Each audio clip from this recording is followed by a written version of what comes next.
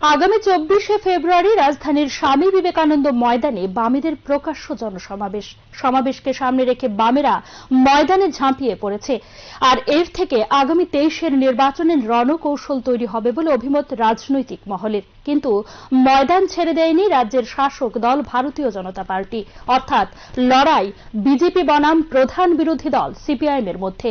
ক্ষমতায় ফিরতে বামীদের ইঁদুর দৌড় ক্রমশ বেড়েই চলেছে। কিন্তু রাজ্যের উর্বর মাটিতে শাসক দল ময়দানে নিজেদের অগ্নি পরীক্ষা দিতে প্রস্তুত। সুতরাং শাসক দলের কাছে যেমন তেইশের নির্বাচন পাখির চোখ, অনুরূপভাবে বিরোধী দলের কাছেও পাখির চোখ তেইশের নির্বাচন। সুতরাং শক্তির মহড়া দিতে দুদলেই ইতিমধ্যে ময়দানে ঝাঁপিয়েছে। আগামী চব্বিশে ফেব্রুয়ারি বামেদের প্রকাশ্য সমাবেশকে কেন্দ্র করে ময়দানে বিভিন্নভাবে মানুষকে জানান দিচ্ছে নেতৃত্বরা। বুধবার স্বামী বিবেকানন্দ ময়দান পরিদর্শনে যান রাজ্যের প্রাক্তন মন্ত্রী তথা সিপিআইএম নেতা মানিক দে তিনি জানান, রাজ্যে স্বৈরাচারী শাসন চলছে, এর থেকে গণতন্ত্র পুনরুদ্ধার করতে চাইছে।